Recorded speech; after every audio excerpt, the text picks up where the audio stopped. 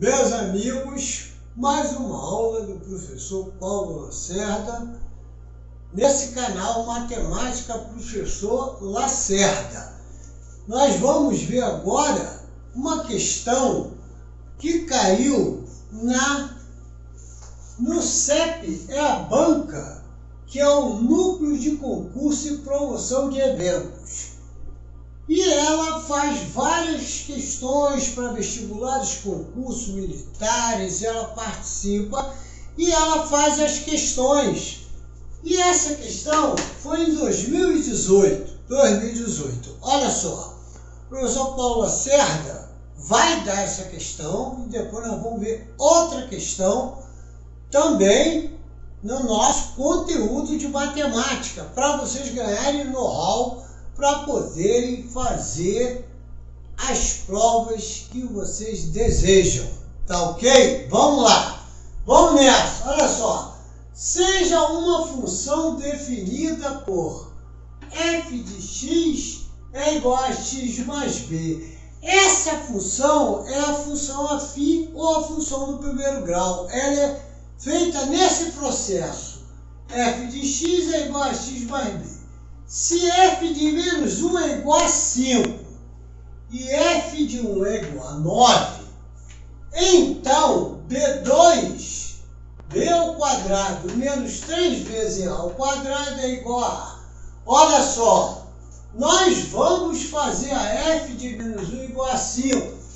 Então, vamos começar. Eu sei que f de x é igual a x mais B.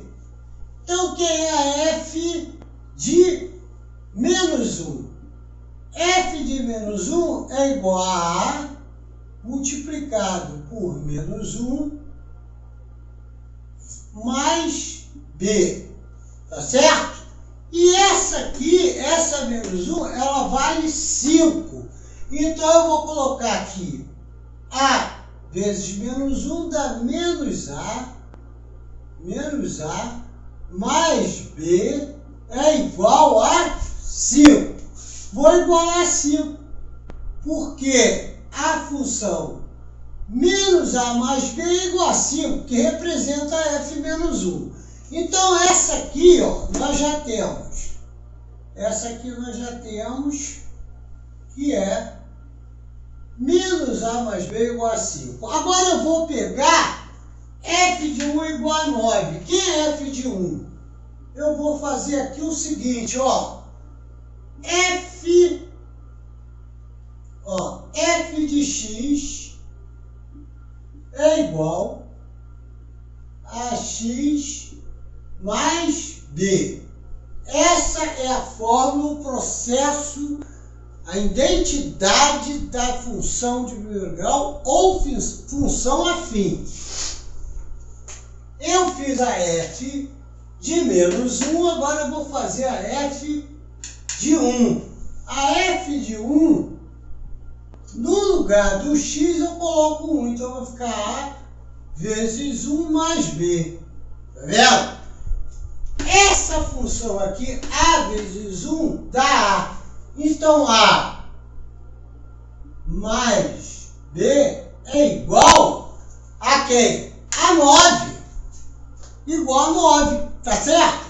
Porque a f de 1 é a mais b, que é igual a 9. Eu igualo a 9, porque ele está dizendo f de 1 é igual a 9. Substituindo a função aqui, o 1, que é f de 1, deu a, a vezes 1a, mais b, que é igual a 9. Então, eu tenho aqui, ó, a mais b igual a 9. Ora, eu aqui eu monto um sistema, sistema do primeiro grau, galera. Olha só, muito importante isso. Então eu vou montar aqui, ó,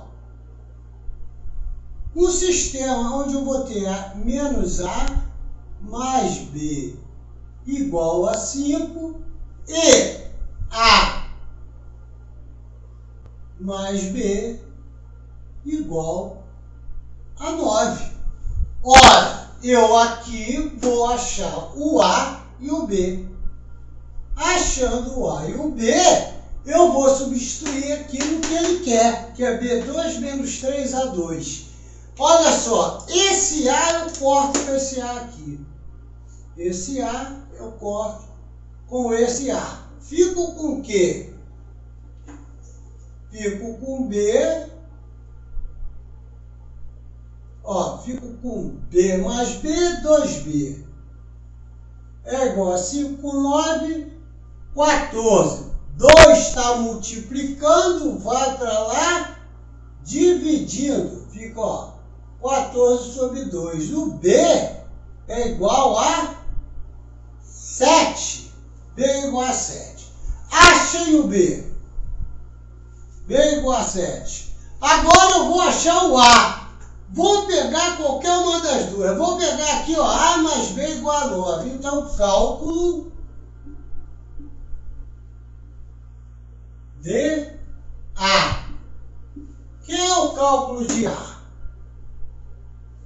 Ó. Cálculo de A. Vou pegar A mais B igual a 9. Então, A mais B é igual a 9. Quem é B? B é 7. Então, vai ficar A mais 7 no lugar do B é igual a 9. A é igual a 9 menos 7. Ele está somando, vai para lá, diminuindo. Quando você troca o elemento de um lado para o outro da equação, você troca o sinal de operação. Ó, vai dar é igual a 9 menos 7, 2. Achei o A. Então eu tenho B igual a 7 e A igual a 2. Vou calcular, vou calcular agora, ó. Vou calcular agora quem? Cálculo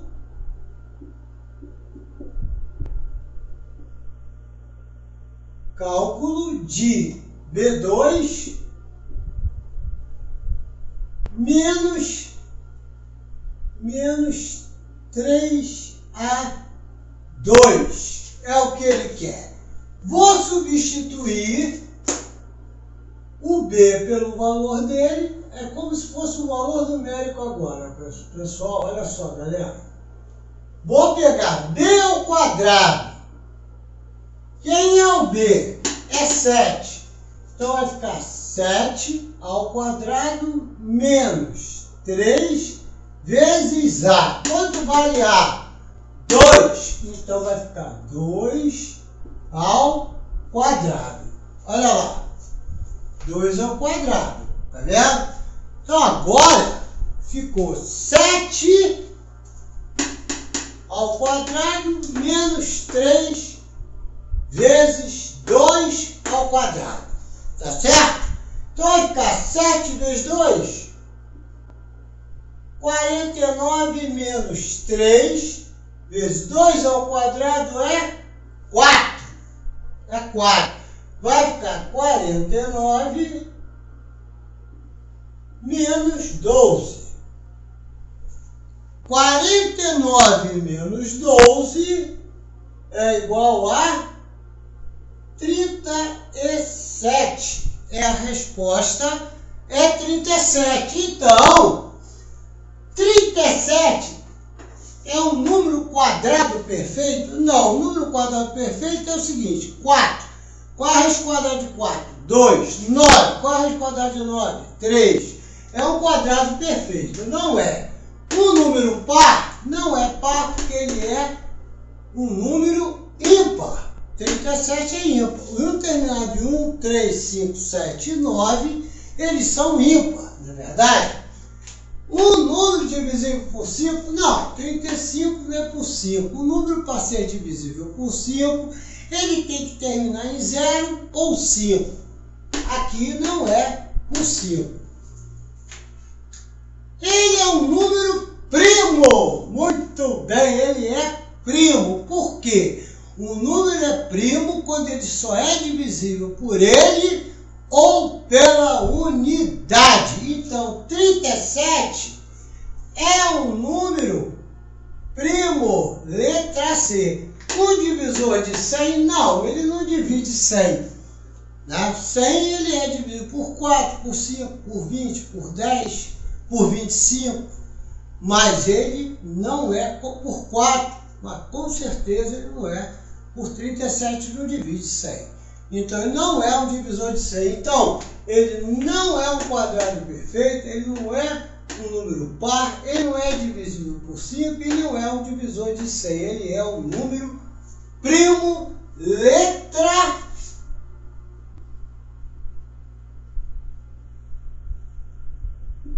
C. Viu, galera? Letra C é a resposta do nosso exercício. Bom, agora, pessoal, olha só, nós vamos continuar, vamos ver mais uma questão de matemática envolvendo funções, plano cartesiano, par ordenado, tudo se envolve numa mistura que a matemática força a gente a conhecer. Tá ok? Aguarda que nós vamos continuar com a nossa aula. Tá bom? Valeu?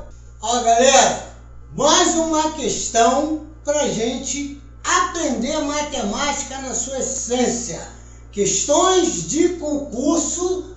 Essa questão, galera, caiu na Epicar. Epicar. E eu tenho a resposta aqui, menos 8, menos 6, 1, 9, 10. Diz a questão o seguinte, vamos direto ao assunto. Essa questão não se trata propriamente de função do primeiro grau ou função afim, que é a mesma coisa. Muitos professores confundem função afim e função primeiro grau é a mesma coisa. Só que essa questão caiu na escola preparatória para cadete da aeronáutica. E, eu ach... e a equipe achou importantíssimo colocar ela para vocês, porque ela não é para calcular os pontos de um plano cartesiano. Ela vai envolver cálculos que vão fazer você aprender a, a usar um método para calcular esse tipo de questão. Então, eu introduzi ela na nossa aula. Nós vamos ver mais questões de função do primeiro grau, que é a função afim de todas as formas, todos os concursos, prefeitura. Nós vamos ver da CESP.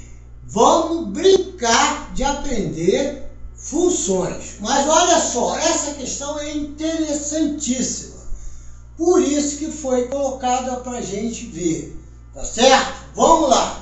Um ponto do plano cartesiano tem coordenadas. Isso aqui é um ponto.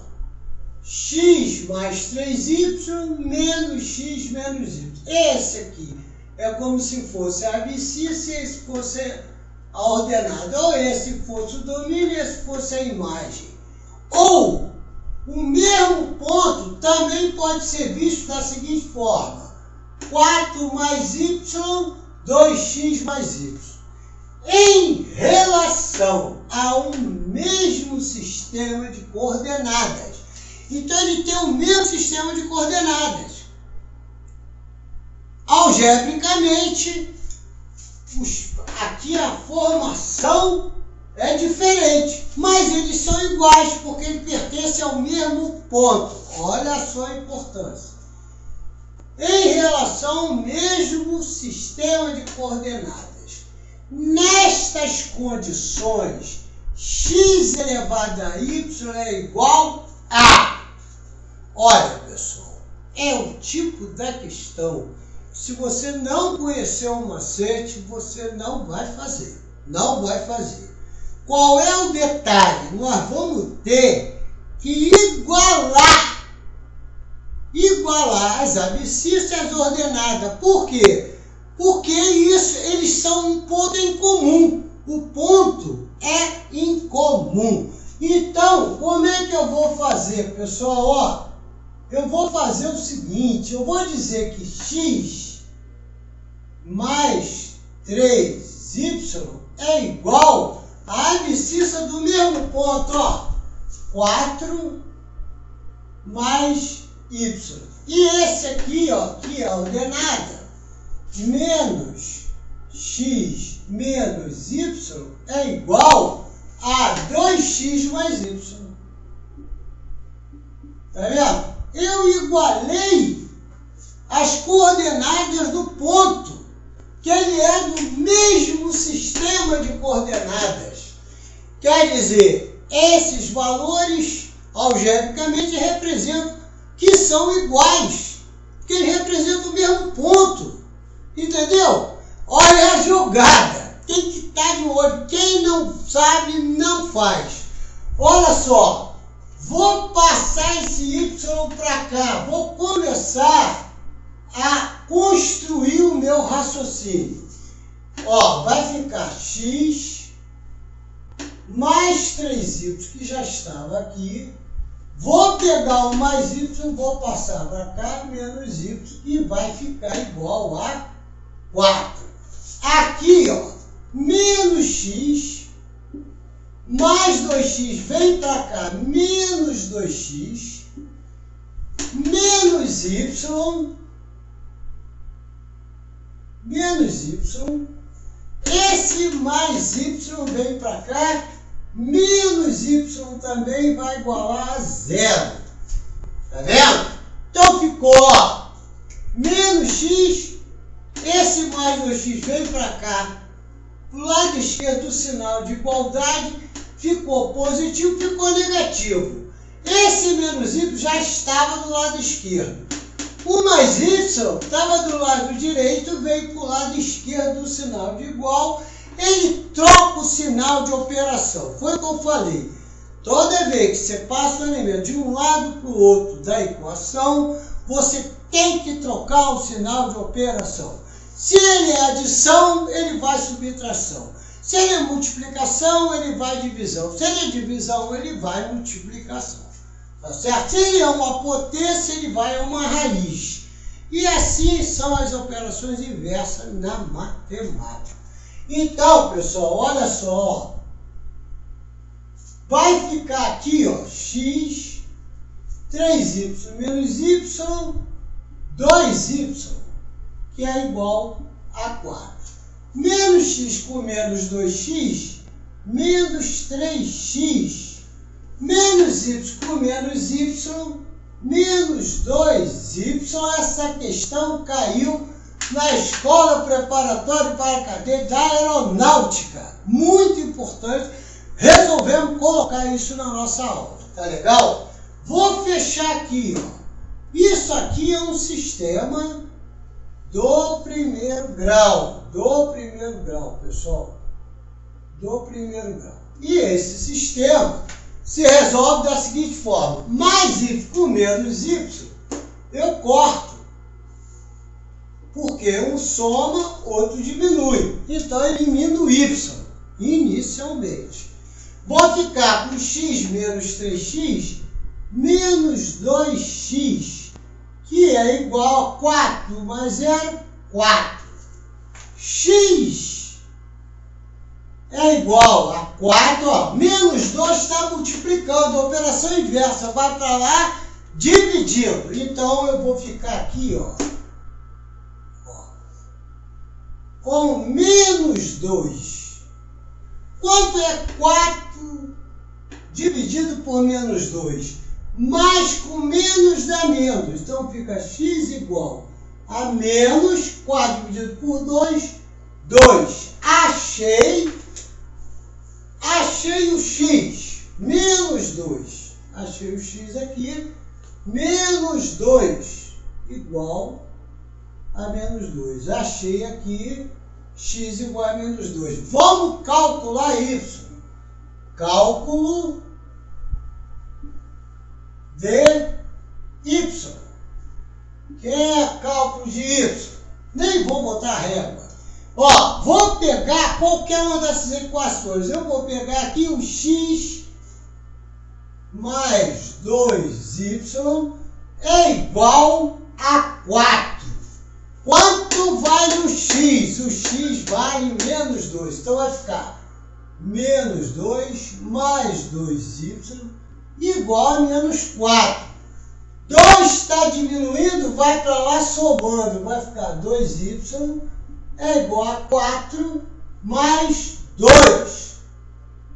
4 mais 2, 6. 6 vai ficar 2y é igual a 6, da onde y é igual a 3. Achei ali o y. Tá vendo? Igual a 3. Então eu vou aqui e vou ó, grifar o, o y igual a 3. Tá lá x igual a 2 e y igual a 3. x igual a menos 2 e y igual a 3. Vou calcular o que ele quer. O que, que ele pede? Ele pede x elevado a y. Ele não quer x nem y, ele quer o x elevado a y. Então eu vou pegar aqui, ó, vou separar meu quadro e vou colocar que ele quer x elevado a y. Ele quer isso aqui. Ora, quem é o x? É menos 2. Elevado a y, que é 3. Quem é menos 2 elevado à terceira? 2 é 2 vezes 4. 2 vezes 2, 4 vezes 2, 8. Como o expoente é ímpar, o resultado tem um sinal da base, que é negativa. Então aqui dá menos 8. Menos 8 é a resposta letra A. Tá certo? Olá, professor, tem outra forma de fazer? Tem. Eu posso pegar, é 3, então eu faço menos 2, vezes menos 2, vezes menos 2. 3 vezes. Menos com mais dá menos, com menos, menos com menos dá mais, com menos dá menos 8, do mesmo jeito. Então, essa é a resposta da nossa questão que caiu na escola preparatória para cadete do ar. Galera, eu vou agradecer vocês. Fiquem na paz, fiquem com Deus. Obrigado por vocês estarem aqui comigo novamente nessa aula. Estou muito feliz. Nós hoje estamos com mais de 10 mil inscritos e nós temos mais de 290 mil visualizações. Nosso canal é novo, só tem um ano nós estamos bombando aí na internet, tá bom? Espero que eu tenha ajudado vocês. Fiquem na paz, fiquem com Deus e ó,